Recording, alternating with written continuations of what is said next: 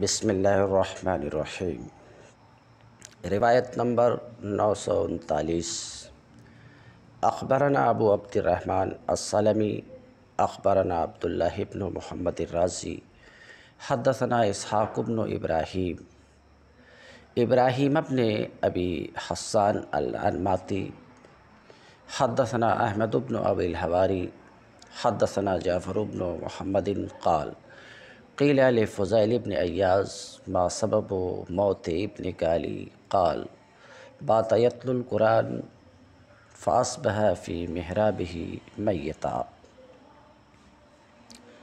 حضرت فضیل بن ایاز رحمۃ اللہ علیہ سے پوچھا گیا کہ آپ کے فرزند، آپ کے بیٹے علی کی موت کا سبب کیا ہوا؟ بولے کہ انہوں نے اپنے حجرے میں قرآن کی تلاوت کرتے ہوئے رات گزاری تھی۔ صبح کی تو اپنے حجرے میں مرے ہوئے پڑے تھے۔ قرآن کی تلاوت اور موت، یہ کیا ماجرا ہے؟ تو خود قرآن میں ہے۔ لو انزلنا هذا القرآن على جبل لرأيته خاشعا متصدعا من خشیت اللہ۔ تو قرآن میں وہ اثر ہے کہ جس کے دل میں اتر جاتا ہے۔ جس کے دل میں اتر جاتا ہے اور جس دل میں اس کی سمجھ پیدا ہوتی ہے، وہ دل اپنے آپ کو قرآن کے حوالے کر دیتا ہے۔ ایک نہیں، سینکڑوں واقعات صحابہ کرام اور تابعی صحابیات اور تابعیات کے ہیں کہ قرآن پڑھا کرتے تھے۔ تو ان کے رونگٹے کھڑے ہو جاتے تھے۔ آنکھوں سے اشک رواں ہو جاتے تھے۔ اور کئی بار پڑھتے پڑھتے بے ہوش ہو جاتے تھے۔ تو یہ کیفیت پیدا ہونے کے لیے دو باتیں ضروری ہیں۔ نمبر ایک، قرآن میں جو کچھ ہے اس کو سمجھنے کی صلاحیت ہو، اسے آدمی سمجھے۔ اور دوسری بات جو اس سے بھی اہم ہے، وہ یہ کہ اللہ کا خوف ہو، اللہ کا ڈر ہو۔ تو جس انسان میں خوف خدا شدید ہوتا ہے اور قرآن کو سمجھنے کی صلاحیت بھی ہوتی ہے، جب وہ قرآن کو پڑھتا ہے تو اس کے رونگٹے کا کھڑا ہونا، اس کے دل کا لبریز ہونا، اس کے آنکھوں کا اشک بار ہونا، یہ ایک عام سی بات ہے، یہ کوئی خاص بات نہیں ہے۔ چنانچہ، حضرت فضیل بن ایاز کے فرزند قرآن کی تلاوت کرتے رہے اور یہ ان کے دل میں اتر گیا۔ اور کسی منظر کو، کسی موقف کو، کسی بات کو وہ ذکر کرتے رہے یہاں تک کہ ان کا جگر پھٹ گیا اور موت ہو گئی۔ روایت نمبر نو سو چالیس۔ اخبرنا ابو عبداللہ الحافظ و ابو بکر ابن الحسن و ابو سعید ابن ابی عمر قالو حدثنا أبو العباس محمد بن يعقوب. حدثنا إبراهيم بن سليمان. حدثنا عباد بن موسى. حدثنا أبو إسماعيل المؤدب عن الأعمش عن زيد بن وهب. قال غزونا فمررنا في مكان مخوف فإذا رجل نائم عند فرسه قلنا يا أبا عبد الله ما لك قال، وما لي قلنا فی مثل هذا المکان تنام۔ قال، انی لاستحیی من ربی۔ این یعلم انی اخاف شیئا غیرہ۔ زید بن وہب فرماتے ہیں کہ ہم لوگوں نے جہاد کیا، چنانچہ ہم کچھ گھاٹیوں کے ساتھ ایک ڈرونے مقام سے گزرے گزرے۔ یکا یک ہم نے دیکھا یکا یک ہم نے دیکھا کہ ایک آدمی اپنے گھوڑے کے پاس سو رہا ہے۔ ہم نے کہا، اے بندہ خدا، تجھے کیا ہوا ہے؟ بولا، مجھے کیا ہوا؟ ہم نے کہا، آپ ایسی خطرناک جگہ سوئے ہوئے ہیں۔ بولا کہ مجھے شرم آتی ہے اپنے رب سے کہ وہ یہ جان لے کہ میں اس کے سوا کسی شے سے ڈرتا ہوں۔ میں اس کے سوا انی اخاف و شیئن غیر ہوں میں اس کے سوا کسی سے ڈرتا ہوں، وہ اس بات کو جان لے۔ اس سے مجھے شرم آتی ہے۔ روایت نمبر نو سو اکتالیس۔ اخبرنا ابو الحسین ابن بشران۔ اخبرنا اسحاق ابن احمد۔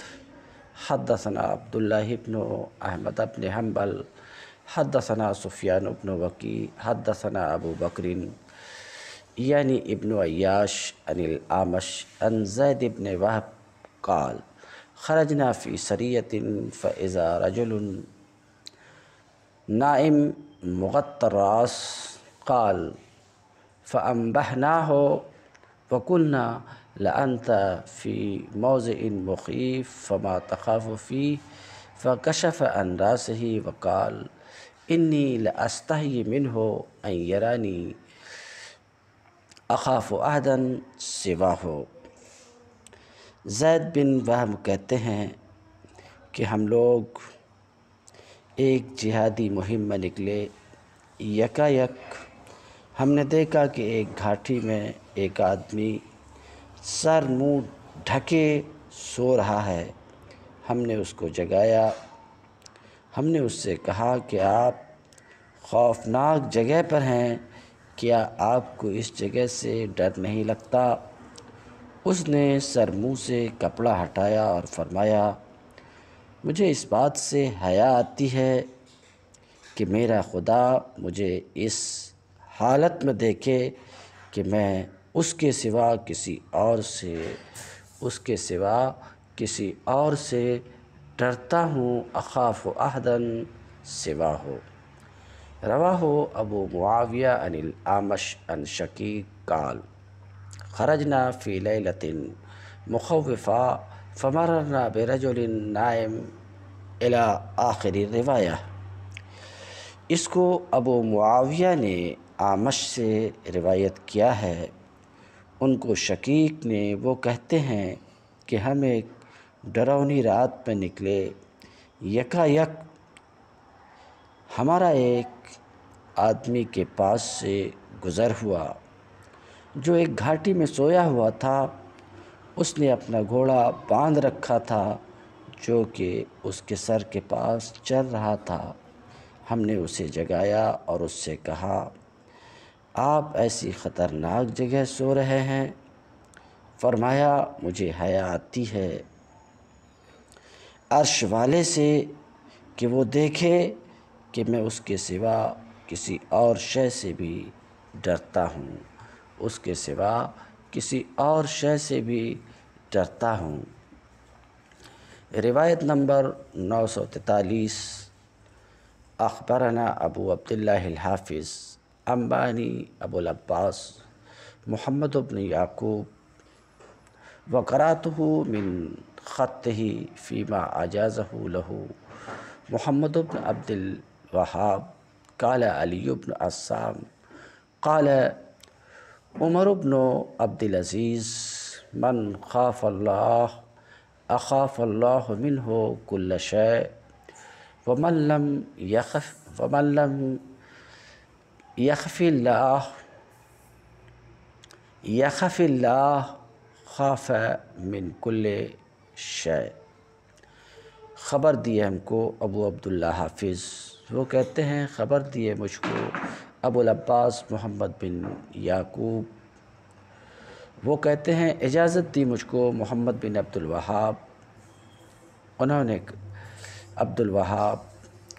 علی بن اسام نے کہا کہ عمر بن عبدالعزیز رحمۃ اللہ علیہ نے فرمایا،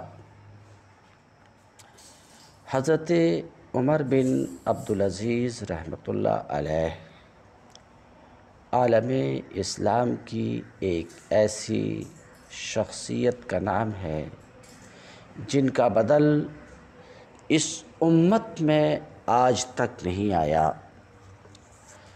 انہوں نے عدل کی وہ مثال قائم کی کہ انہیں پانچواں خلیفہ راشد قرار دیا جانے لگا۔ سیدنا عمر بن عبدالعزیز خلیفہ بننے سے پہلے نہایت پرتکلف اور قیمتی لباس پہنتے تھے۔ لیکن خلیفہ ہونے کے بعد انہوں نے کھانے اور پہننے میں بالکل درویشانہ روش اختیار کر لی تھی۔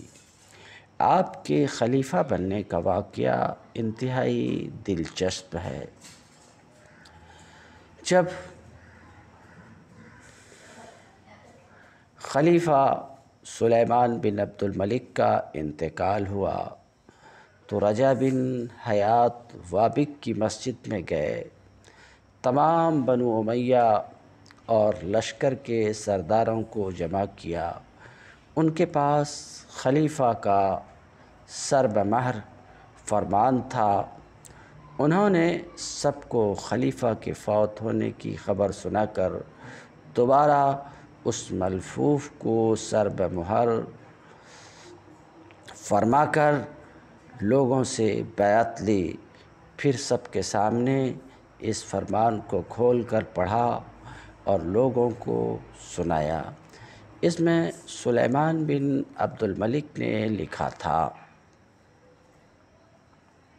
کہ یہ تحریر بندہ خدا امیر المومنین سلیمان بن عبد الملک کی طرف سے۔ عمر بن عبدالعزیز کے نام ہے۔ میں نے اپنے بعد تم کو اور تمہارے بعد یزید بن عبد الملک کو خلافت کا ولی عہد مقرر کیا۔ بس لوگوں کو چاہیے کہ وہ سنیں اور اطاعت کریں اور اللہ سے ڈریں اور آپس میں اختلاف نہ کریں تاکہ دوسروں کو تمہارے مغلوب کرنے کی تمانا ہو۔ اس فرمان کو سن کر حشان بن عبد الملک نے کہا کہ ہم عمر بن عبدالعزیز کی بیعت نہیں کریں گے، مگر رجا بن حیات نے جرأت سے کام لے کر نہایت سختی سے فوراً جواب دیا کہ میں تمہاری گردن اڑا دوں گا۔ حشام یہ سن کر خاموش ہو گیا عبد الملک کی اولاد اس وصیت اور فرمان کو اپنی حق تلفی کا موجب سمجھتی تھی، لیکن عام طور پر لوگ سیدنا عمر بن عبدالعزیز کے خلیفہ ہونے کو بہت ہی پسند کرتے تھے۔ ادھر عمر بن عبدالعزیز رحمۃ اللہ علیہ کے بعد یزید بن عبد الملک کو چونکہ خلافت کے لیے ولی عہد بنا دیا گیا تھا، لہٰذا اولاد عبد الملک کو کسی قدر تسکین بھی ہوتی تھی کہ عمر بن عبدالعزیز کے بعد خلافت پھر ہمارے ہی گھرانے میں آ جائے گی۔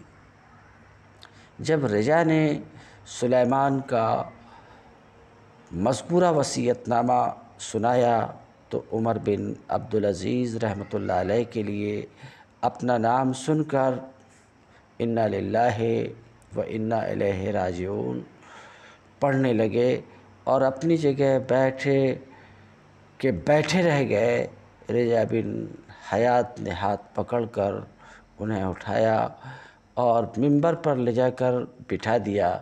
سب سے پہلے ہشام بن عبد الملک کو بلایا کہ آ کر بیعت کرو۔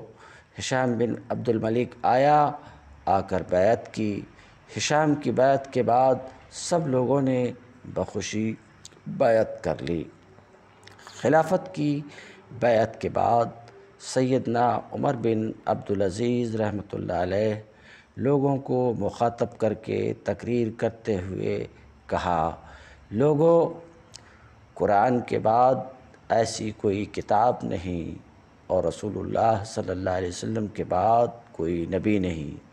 میں کسی چیز کو شروع کرنے والا نہیں، بلکہ پورا کرنے والا ہوں۔ میں ابتدا کرنے والا نہیں اتباع کرنے والا ہوں۔ میں کسی حال میں تم سے بہتر نہیں ہوں۔ البتہ میرا بوجھ بہت زیادہ ہے۔ جو شخص ظالم بادشاہ سے بھاگ جائے، وہ ظالم نہیں ہو سکتا۔ یاد رکھو کہ احکام الہی کے خلاف کسی مخلوق کی اطاعت جائز نہیں ہے۔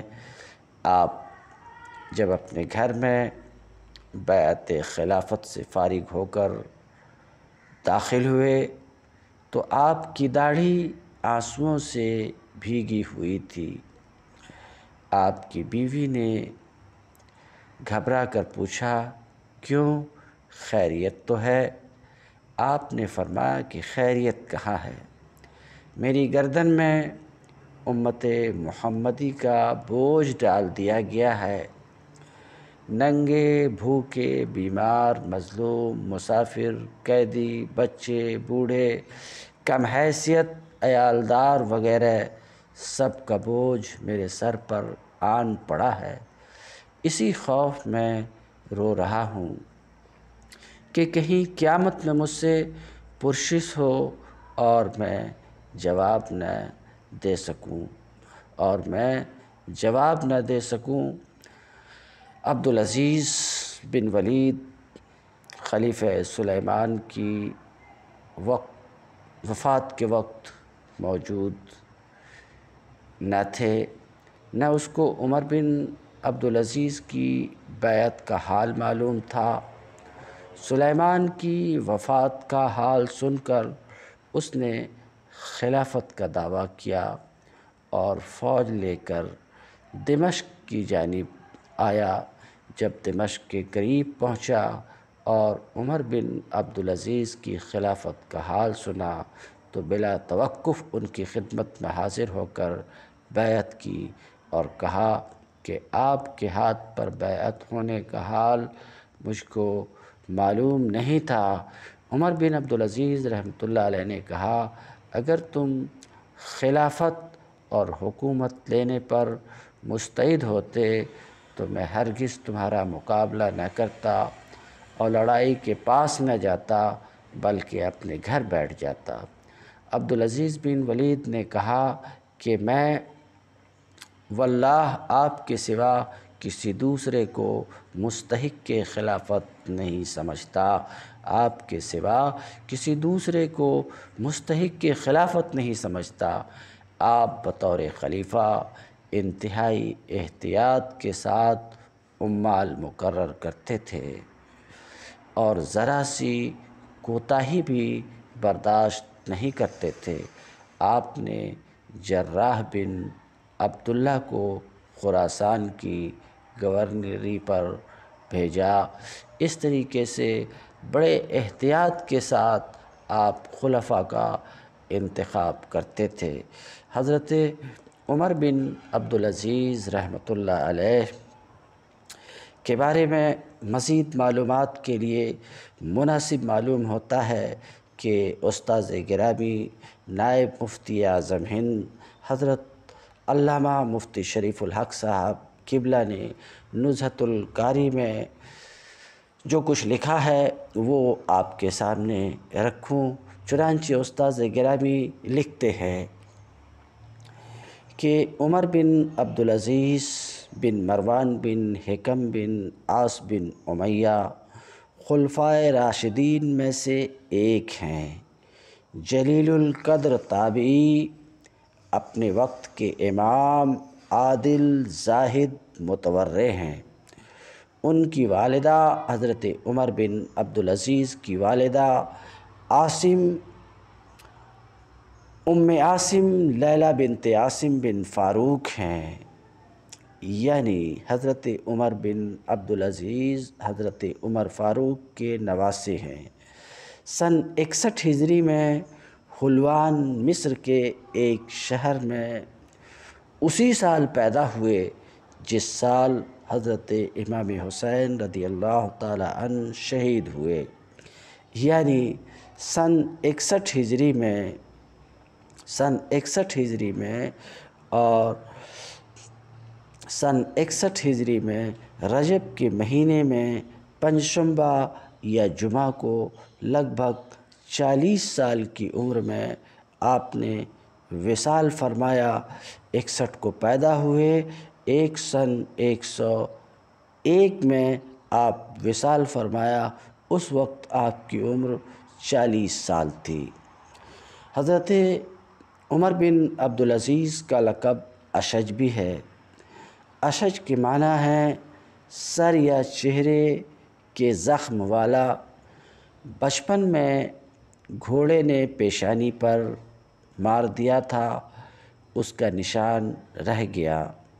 حضرت فاروق اعظم رضی اللہ تعالی عنہ نے فرمایا، میری نسل میں ایک لڑکا ہوگا جس کے چہرے پر زخم کا نشان ہوگا۔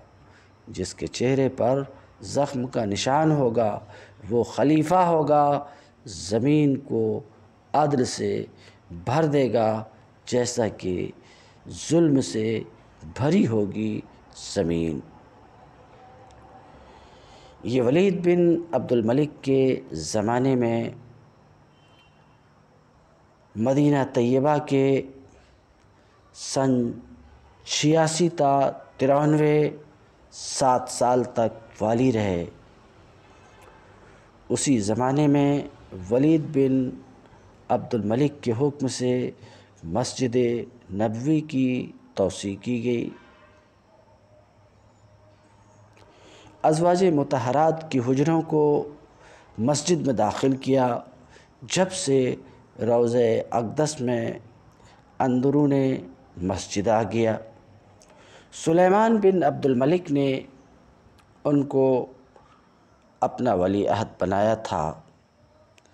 دس سفر ننانوے ہجری کو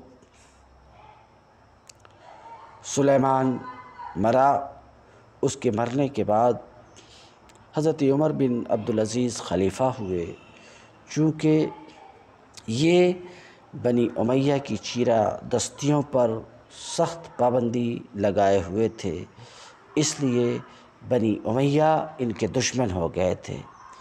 ان کے ایک غلام کو ایک ہزار دینار کی لالچ دے کر زہر دلایا، اسی کے اثر سے بیس دن بیمار رہ کر دیر سمعان میں حلب کے قریب وصال فرمایا، وہیں دفن ہوئے۔ بعض حضرات نے فرمایا کہ ان کی مدت خلافت وہی تھی جو حضرت صدیق اکبر رضی اللہ تعالی عنہ کی تھی۔ حضرت صدیق اکبر کی مدت خلافت دو سال تین مہینے دس دن تھی۔ تیرہ ربی الاول کو بیعت ہوئی اور خلافت کے تیسرے سال بائیس جماعت الاخرہ کو وصال فرمایا۔ لیکن یہ صحیح نہیں ہے اس لیے کہ ان کی مدت خلافت دو سال، پانچ مہینے یا پندرہ دن تھی۔ ان کے پاس حضور اقدس صلی اللہ علیہ وسلم کے کچھ منہ مبارک اور مقدس ناخن کے تراشے تھے۔ وصیت فرما گئے تھے کہ انہیں میرے کفن میں رکھ دیا جائے، چنانچہ ایسا ہی کیا گیا۔ حضرت انس رضی اللہ عنہ نے ان کے پیچھے اس وقت نماز پڑھی جب یہ مدینہ کے حاکم تھے۔ فرمایا، میں نے کسی کو ان سے زیادہ رسول اللہ صلی اللہ علیہ وسلم کے مشابہ نماز پڑھنے والا نہ دیکھا۔ امام احمد بن حنبل رحمۃ اللہ علیہ نے فرمایا یہ امت کے پہلے مجدد ہیں۔ حضرت امام احمد بن حنبل رضی اللہ رحمۃ اللہ علیہ نے حضرت عمر بن عبدالعزیز کے بارے میں فرمایا کہ یہ امت کے پہلے مجدد ہیں۔ امام نووی نے فرمایا کہ کثیر علماء نے بھی یہی فرمایا ہے کہ یہ امت کے پہلے مجدد ہیں۔ اتنے زبردست عالم تھے کہ مشہور تھا کہ اس وقت کے علماء ان کے تلامزہ ہیں۔ انہوں نے حضرت عبداللہ بن جعفر اور حضرت انس رضی اللہ عنہم سے حدیث سنی ہے۔ ان کے عہد میں صحابہ کرام کے وجود سے دنیا خالی ہو چکی تھی، جیسا کہ حضور اقدس صلی اللہ علیہ وسلم نے فرمایا کہ ایک صدی گزرنے پر آج کا کوئی جاندار زندہ نہیں رہے گا۔ قال علی بن عصام قال عمر بن عبدالعزیز من خاف اللہ، اخاف اللہ منہ کل شے ومن لم یخف اللہ، خاف من کل شے علی بن عصام کہتے ہیں کہ عمر بن عبدالعزیز کا ارشاد ہے۔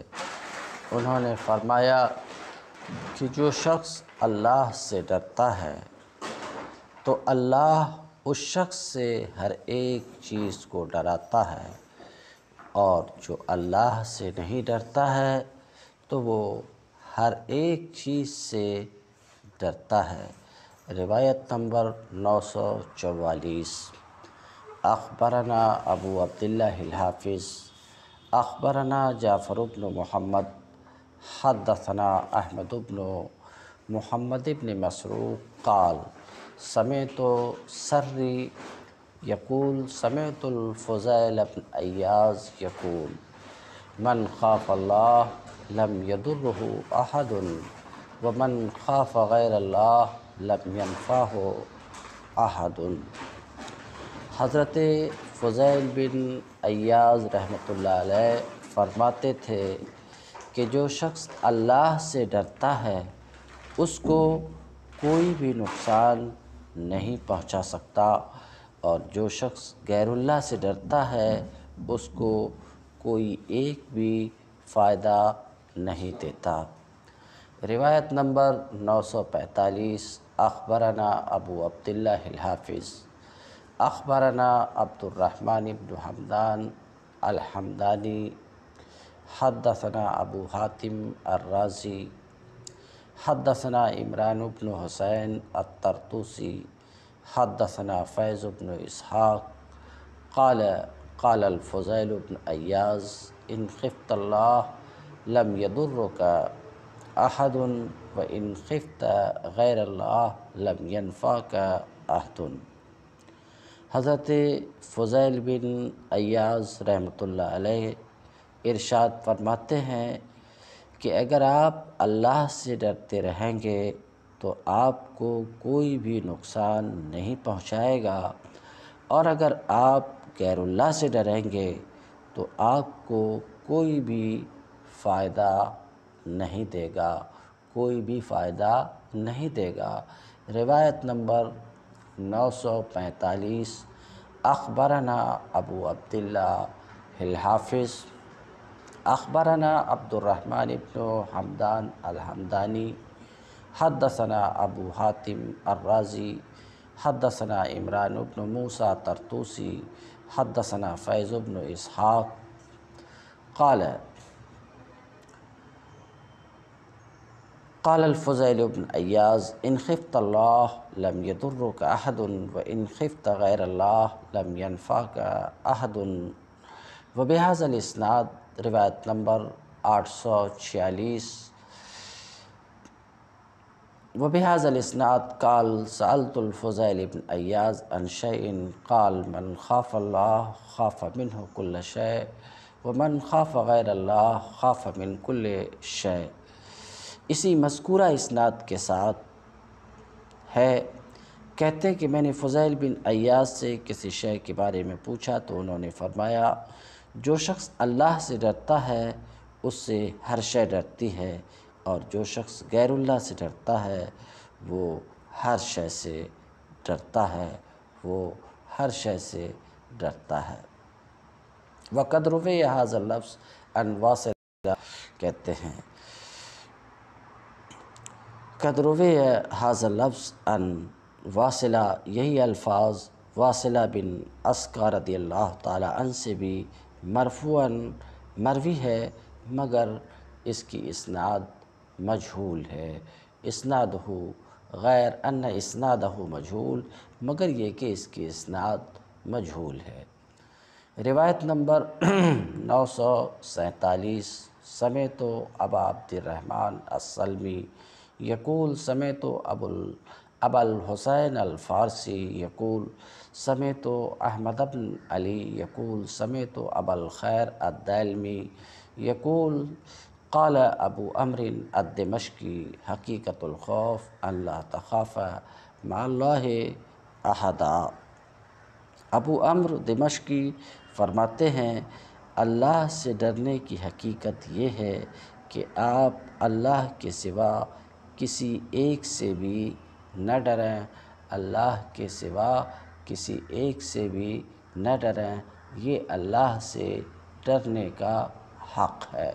روایت نمبر نو سو اڑتالیس، اخبرنا ابو سعد المالینی، حدثنا احمد ابن محمد ابن الحسن، اخبرنا ابو العباس ابن حکم وی قال سمیت یحیی بن معاذ الرازی یقول، علی قدر حبک اللہ، یحبک الخلق وعلی قدر خوفک من اللہ، یحابک الخلق وعلی قدر شغلک بامر اللہ، یشغل فی امرک الخلق.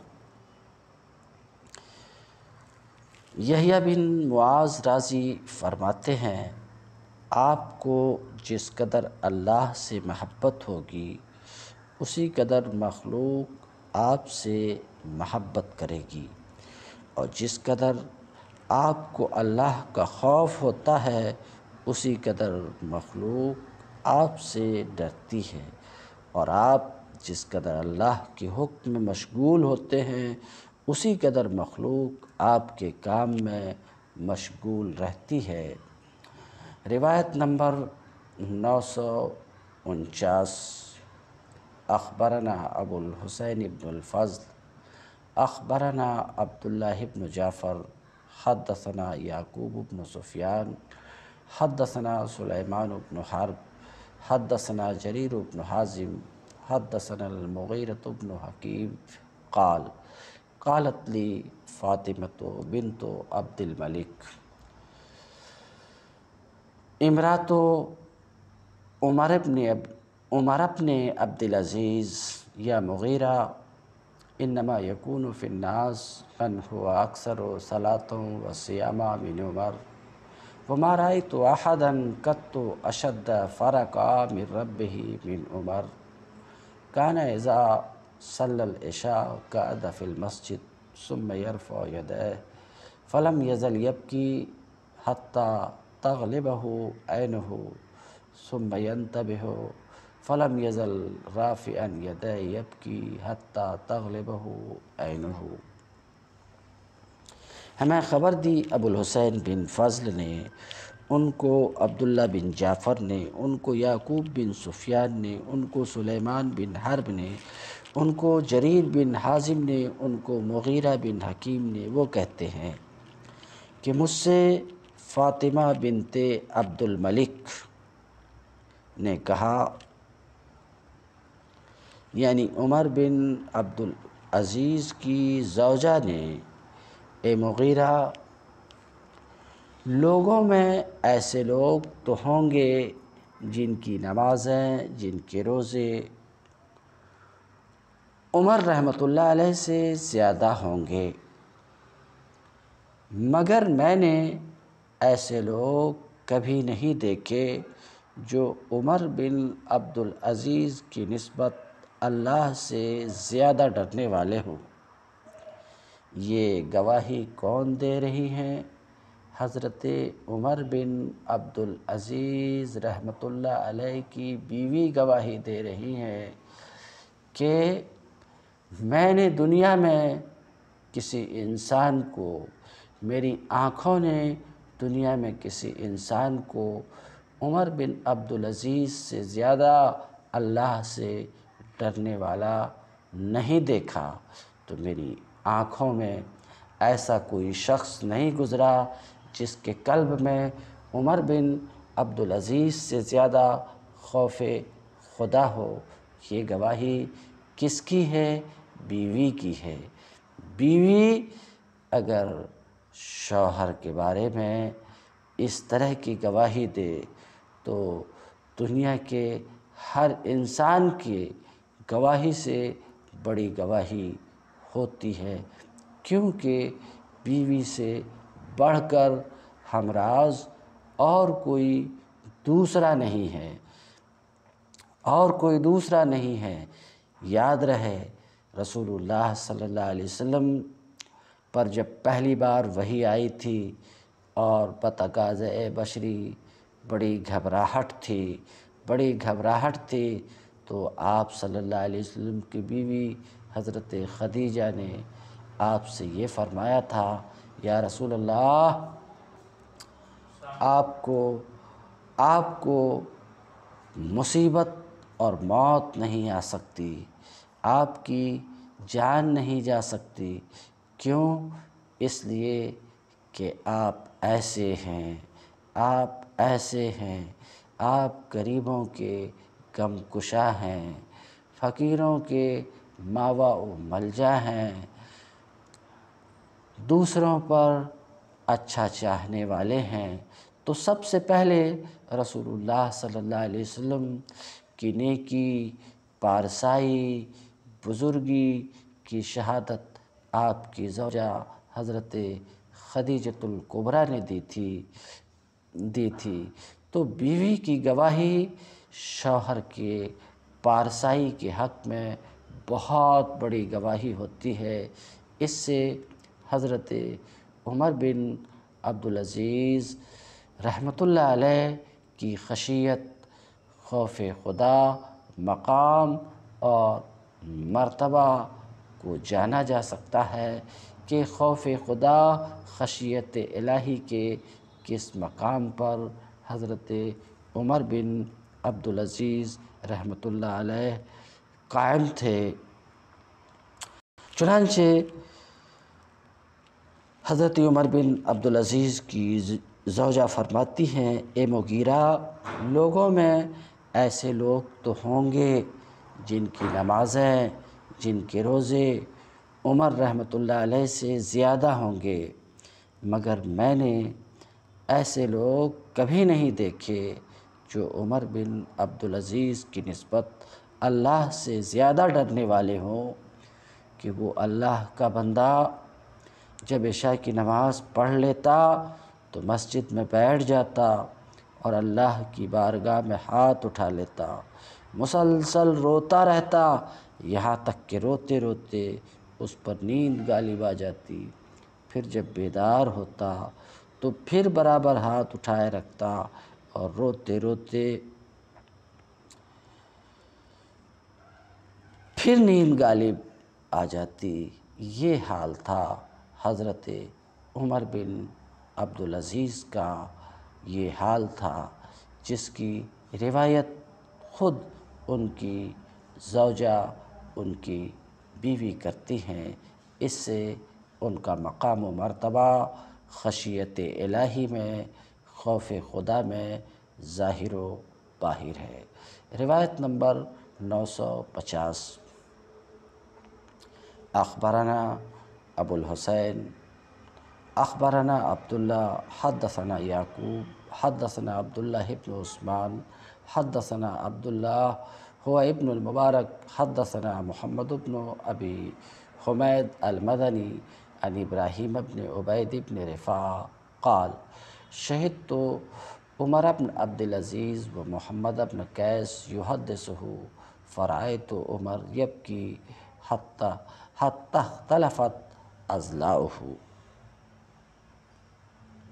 ہمیں خبر دی ابو الحسین نے، ان کو عبداللہ نے، ان کو یعقوب نے، ان کو عبداللہ بن عثمان نے، ان کو عبداللہ ابن مبارک نے ان کو محمد بن ابی حمید مدنی نے، ان کو ابراہیم بن عبید بن رفع نے وہ فرماتے ہیں کہ میں حضرت عمر بن عبدالعزیز اور محمد بن قیس کے پاس تھا، جو کہ ان کو حدیث بیان کر رہے تھے۔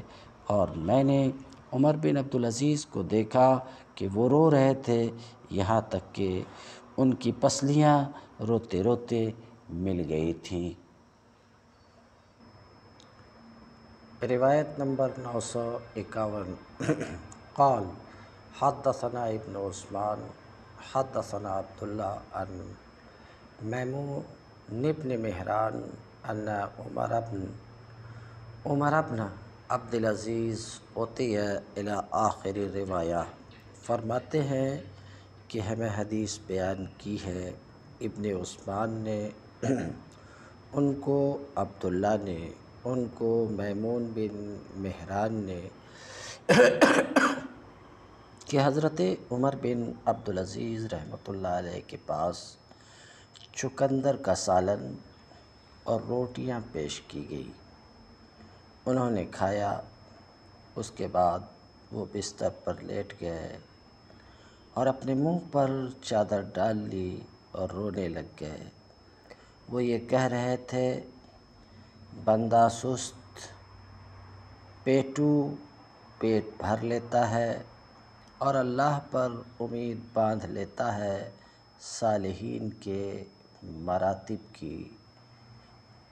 روایت نمبر نو سو باون۔ اخبرنا ابو محمد پہ بغداد اخبرنا ابو بکر الشافعی۔ حدثنا جعفر ابن محمد ابن الازہر، حدثنا المفضل، مفضل ابن غسان الغلابی، قال کانا عمر ابن عبدالعزیز رحمہ اللہ، لا يفو دمعه من هذا البيت ولا خير في عيش امرئ لم يكن له من الله في دار القرار نصیب ہمیں خبر دی۔ ابو محمد سکری نے بغداد میں ان کو ابو بکر شافعی نے، ان کو جعفر بن محمد بن اظہر نے، ان کو مفضل نے غسان غلابی سے کہ حضرت عمر بن عبدالعزیز رحمۃ اللہ علیہ کی آنکھوں سے اس شعر کی وجہ سے آنسو خشک نہیں ہوتے تھے۔ لا خیر فی ایشم رئن لم یکن لہو من اللہ فی دار القرار نصیبو ایسے آدمی کی زندگی کا کوئی فائدہ نہیں ہے جس کے لیے اللہ تعالیٰ کے ہاں جنت میں کوئی حصہ نہیں ہے۔ روایت نمبر نو سو ترپن۔ اخبرنا ابو الحسین علی ابن محمد ابن بشران۔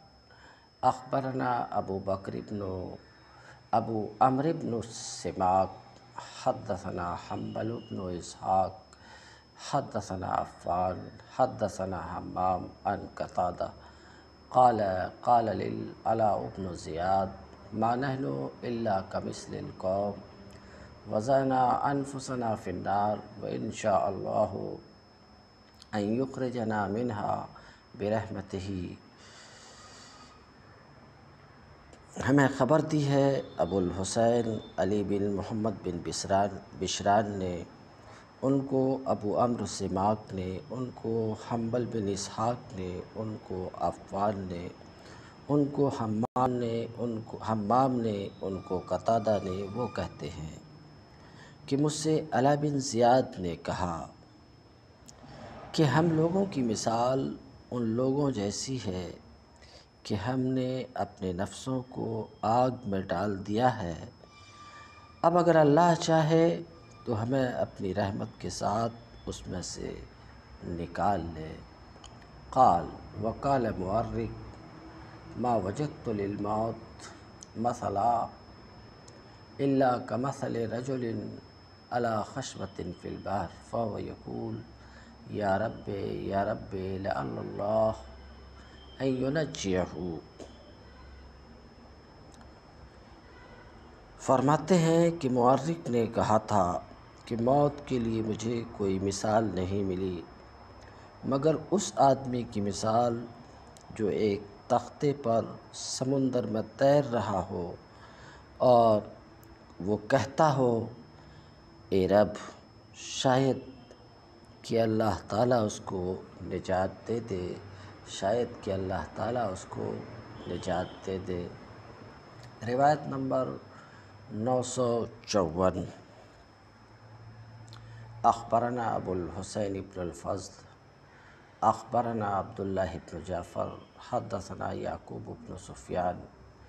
حدثنا محمد ابن یزید الکوفی۔ حدثنا سعید ابن عبداللہ ابن ربی ان امت ہی قالت۔ كنت اقول لأبي یا بتا ہو لا تنام فیقول یا بنیہ کیف ینام من یخاف البیات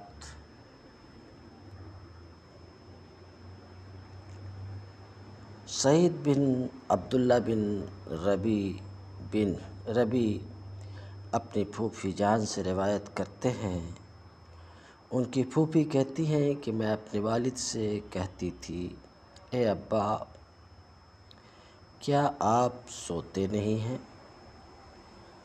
وہ فرماتے تھے، اے بیٹی، وہ شخص کیسے سو سکتا ہے جو اچانک حملے سے ڈر رہا ہو؟ یعنی رات کو اچانک عذاب آ جانے سے ڈر رہا ہو، وہ شخص بھلا کیسے سو سکتا ہے؟ روایت نمبر نو سو پچپن۔ اخبرنا ابو نصر بن قطادہ۔ حدثنا ابو احمد الحسین بن علی۔ اخبرنا ابو القاسم البغوی۔ حدثنا احمد بن حنبل۔ حدثنا سیار بن حاتم۔ حدثنا جعفر بن سلیمان۔ حدثنا مالک بن دینار۔ قال قالت ابنة الربی ابن خسیم یا باتاہو انی ار الناس ینامون وأنت لا لا تنام، قال يا بني إن أباك يخاف البيات مالک بن دینار فرماتے ہیں کہ ربی بن حسین کی بیٹی نے کہا کہ ابا جان، میں دیکھتی ہوں کہ لوگ سو رہے ہیں اور آپ جاگ رہے ہیں۔ فرمایا، اے بیٹی، بے شک تیرا باپ ناگہانی عذاب سے ڈرتا ہے جو اچانک رات کو آ جائے، جو اچانک رات کو آ جائے۔ روایت نمبر نو سو چھپن۔ اخبرنا ابو عبداللہ الحافظ، حدثنا الحسن بن محمد ابن اسحاق قال سمیت ابا عثمان الحنات سمیت قال سمیت زنون و شکا علیہ رجل الى آخر روایہ زنون مصری سے روایت ہے کہ ایک آدمی نے ان کی طرف نیند نہ آنے کی شکایت کی۔ لہٰذا ان سے کہا، اگر آپ رات کو اچانک آنے والے عذاب سے ڈرتے، تو آپ کے اوپر نیند اور رات کا آرام کرنا غالب نہ آتا۔ اس کے بعد جنون مصری نے شعر کہے، جس کا مفہوم یہ ہے۔ اپنے مولا کی طاعت کی قسم کھا لے اور اس کی طاعت کے لیے فاقع مستی کا پردہ اوڑھ لے۔ وہ تیری اس کوشش اور اہتمام کا استقبال کرے گا اپنی رضامندی کے ساتھ۔ وہ اس کی بدولت تجھے نیکیوں کے مراتب تک پہنچائے گا۔ منازل الابرار نیکوں کے منازل تک تم کو پہنچائے گا۔ وہ بے اسنادی قال، سمیت ذنون یقول سلاسم من عالم الخوف۔ الورع عن الشبہات بملاحظت الوعید الى آخر الروایہ ظنون مصری رحمۃ اللہ علیہ فرماتے تھے کہ تین چیزیں خوف کی نشانیوں میں سے ہیں۔ عذاب کی دھمکیوں کو دیکھ کر شبہات سے پرہیز کرنا، ذات باری کو دیکھنے والی عظیم نظر کو زیر غور لا کر زبان کی حفاظت کرنا، بلند حوصلہ ذات کے غضب سے ڈرتے ہوئے صدا مغموم رہنا، یہ خوف کی نشانیاں ہیں۔ روایت نمبر نو سو اٹھاون، اخبرنا ابو زکری ابن ابی اسحاق قال، سمیت ابا الفتح البغدادی وکان من اصحاب جعفر ابن محمد ابن نصیر الصوفی قال بت لیلتا فی مسجد فأقلفني فأقلقني النوم فسمعت قائلا أسمع صوته ولا أرى شخصه يقول فكيف تنام العين وهي قريرة ولم تدر فی ای المحلین تنزل فذهب عنی النوم ہمیں خبر دی ابو زکریہ بن ابو اسحاق نے وہ کہتے ہیں، میں نے ابو الفتح بغدادی سے سنا جو کہ جعفر بن محمد بن نصیر صوفی کے اصحاب میں سے تھے۔ انہوں نے فرمایا کہ میں ایک مسجد میں ایک رات گزاری، مجھے نیند میں پریشان کیا۔ لہٰذا میں نے کسی کہنے والے کی آواز سنی مگر شکل نہیں دیکھی۔ کئی فتنا ملین وہ یقریرا ولم تدر فی ای المحلین تنزل۔ وہ آنکھ کیسے سو سکتی ہے؟ جو خوش تو ہے لیکن یہ نہیں جانتی کہ دو ٹھکانوں میں سے کس ٹھکانے پر اتاری جائے گی یعنی جنت میں اتاری جائے گی یا جہنم میں اتاری جائے گی، اسے یہ پتہ نہیں ہے۔ پھر بھلا وہ آنکھ کیسے آرام سے سو سکتی ہے۔ لہٰذا یہ آواز سن کر مجھ سے نیند اڑ گئی۔ اس آواز کو سننا تھا کہ فضحب عن النوم، مجھ سے نیند اڑ گئی۔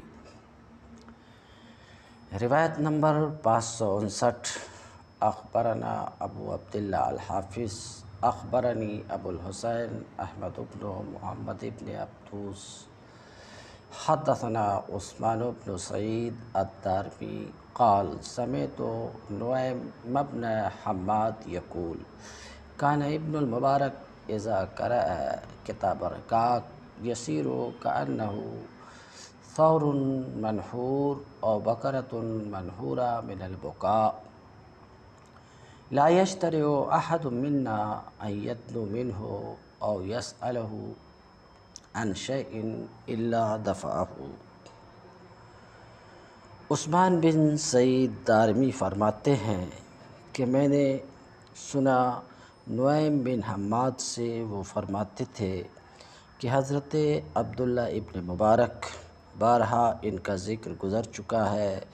بلند پایا محدث اور فقیح تھے اور بڑے نیک تھے اور بڑے نیک کے بیٹے تھے اور بڑے نیک شخص کے نواسے تھے۔ حضرت عبداللہ ابن مبارک جس وقت کتاب الرقاق پڑھا، پڑھتے تو ایسے ہو جاتے جیسے بیل ذبح کیا ہو۔ یا گائے ذبح کی گئی ہو رونے کی وجہ سے۔ ہم میں سے کوئی بھی اس بات کی جرت نہیں کرتا تھا کہ ان کے قریب ہو یا ان سے کسی چیز کے بارے میں سوال کرے، مگر اس کو وہ دفع کر دیتے تھے، ہٹا دیتے تھے۔ روایت نمبر نو سو ساٹھ۔ اخبرنا ابو عبداللہ الحافظ اخبرنی ابو بکر الجراحی حدثنا یحیی بن ساسوے حدثنا عبد الکریم السکری حدثنا وحب بن زمعہ اخبرنی ابو اسحاق ابراہیم بن الاشعش قال مرض ابن المبارک مرضہ الى آخر روایہ اسحاق بن اشعش کہتے ہیں کہ حضرت عبداللہ ابن مبارک رحمۃ اللہ علیہ بیمار ہو گئے تھے اور وہ گھبرا گئے۔ یہاں تک کہ لوگوں نے اس کو گھبرایا ہوا دیکھا اور پریشان دیکھا۔ لہٰذا ان سے کہا گیا کہ یہ سب کچھ آپ کے ساتھ نہیں ہے اور آپ اس قدر گھبرا رہے ہیں۔ کہتے ہیں، میں بیمار ہوا ہوں اور میں ایسی حالت میں ہوں جس کو میں پسند نہیں کرتا ہوں۔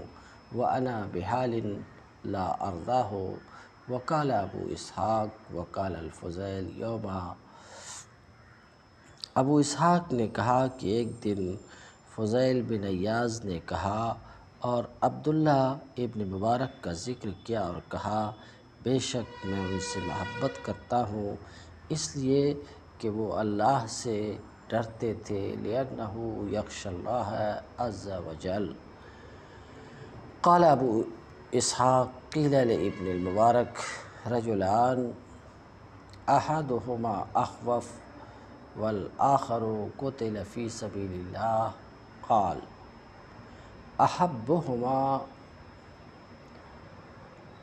الی اخوفهما احبهما الی اخوفهما ابو اسحاق نے کہا کہ حضرت عبداللہ ابن مبارک سے کہا گیا کہ دو آدمیوں میں سے، دو آدمیوں میں سے ایک اللہ کا خوف رکھتا ہے یعنی اللہ سے ڈرتا رہتا ہے، اور دوسرا اللہ کی راہ میں شہید کر دیا گیا ہے۔ آپ ان کے بارے میں کیا کہتے ہیں؟ فرمایا کہ میرے نزدیک زیادہ پسندیدہ وہ ہے جو دونوں میں سے زیادہ ڈرنے والا ہے۔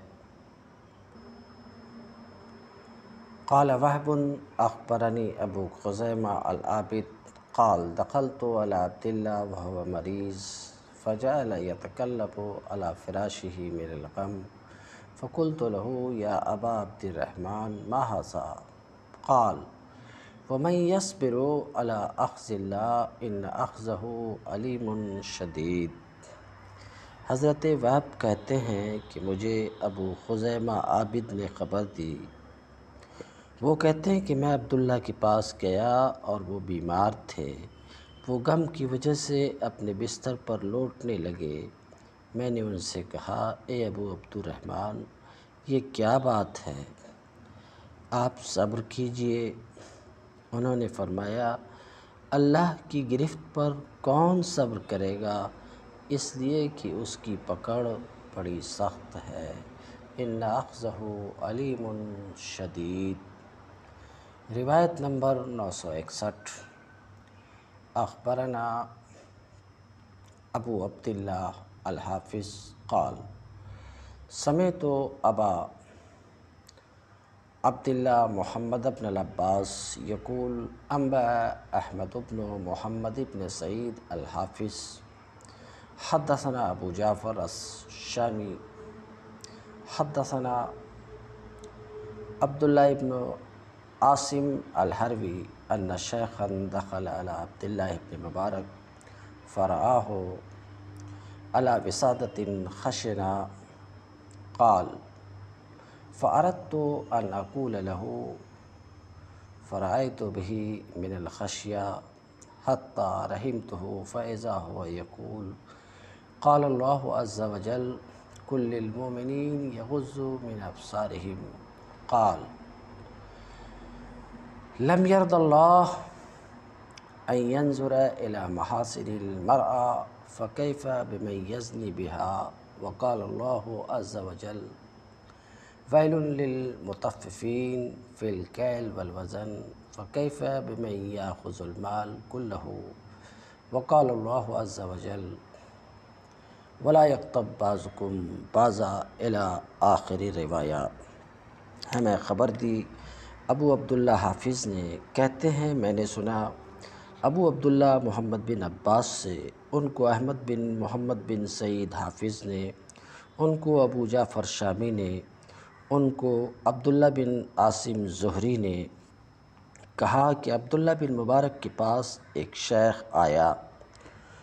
انہوں نے ان کو ایک گدے پر جو کھردرا اور ٹاٹ کا پیبند لگا ہوا تھا بیٹھے ہوئے دیکھا۔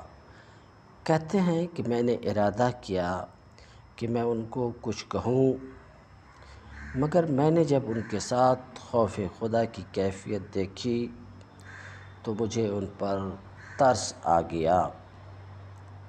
پھر اچانک وہ یہ کہہ رہے تھے، عبداللہ ابن مبارک فرما رہے تھے کہ اللہ تعالیٰ کا فرمان ہے کل للمومنین یغزو من ابصارہم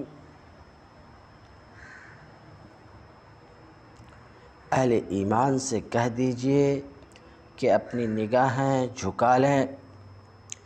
ابن مبارک نے فرمایا کہ اللہ تعالیٰ اس بات پر راضی نہیں ہے کہ ہم عورت کے حسن کے مقامات کو دیکھیں۔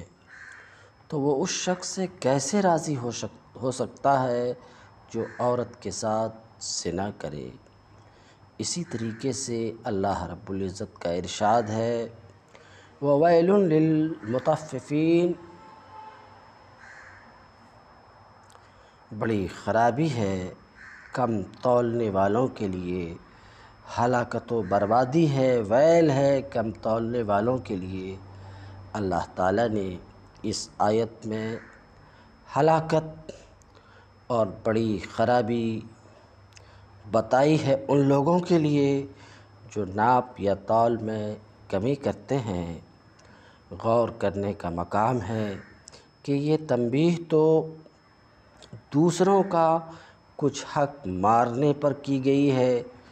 ان لوگوں کا کیا حال ہوگا جو لوگوں کا پورا پورا مال ہڑپ کر جاتے ہیں؟ اللہ تعالیٰ کا ارشاد ہے، ولا یکتب بعضکم بازا تم میں سے بعض بعض کی غیبت نہ کرے۔ اور اسی کے مانند دیگر ممنوعہ باتیں بھی ہیں۔ غور فرمائیے کہ یہ انتباہ تو غیبت کے بارے میں ہے۔ یہ انتباہ تو غیبت کے بارے میں ہے۔ اس کا کیا حال ہوگا جو سرے سے انسان کو قتل کر دے؟ خلاصہ یہ کہ جو رب عورتوں کے حسن دیکھنے کی اجازت نہیں دیتا۔ بھلا وہ رب زنا کرنے کی اجازت کیوں کر دے سکتا؟ جو رب جو رب حقوق العباد میں، ناپ تال میں کمی کرنے کی اجازت نہیں دیتا، وہ چوری ڈاکے کے ذریعے سے پورا مال کھانے کی اجازت کیسے دے سکتا ہے؟ جو مالک ایک دوسرے کی غیبت کرنا برداشت نہیں کرتا، وہ ایک دوسرے کو قتل کرنا کیسے برداشت کرے گا؟ عبداللہ ابن مبارک کی یہ تقریر سن کر شیخ کہتے ہیں، مجھے ان پر رحم آ گیا اور میں نے انہیں بھی کچھ نہیں کہا، میں نے انہیں بھی کچھ نہیں کہا۔ روایت نمبر نو سو باسٹھ۔ اخبرنا ابو زکریہ ابن ابی اسحاق، اخبرنا احمد ابن سلمان الفقیح حدثنا الحارث بن محمد، حدثنا العباس بن ابان، ذکرہ عن بعض العلماء قال، زدین یخاف العقاب ذو الکرم یخاف الار ذو یخاف الطبیع عباس بن ابان کہتے ہیں کہ انہوں نے بعض علماء سے ذکر کیا ہے۔ اور بعض ان سے بعض علماء نے ذکر کیا ہے۔ بعض علماء کہتے ہیں کہ دین والا گرفت سے ڈرتا ہے۔